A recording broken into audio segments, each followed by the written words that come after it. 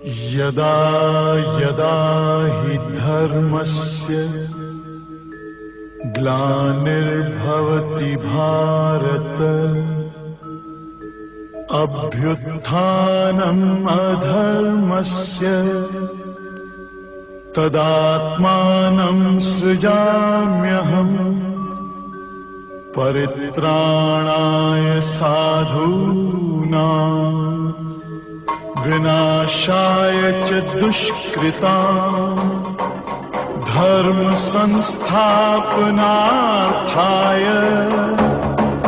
सम्भवा